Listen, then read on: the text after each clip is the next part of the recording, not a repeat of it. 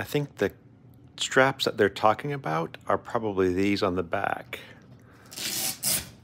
where you can open these up and connect them to the cart strap.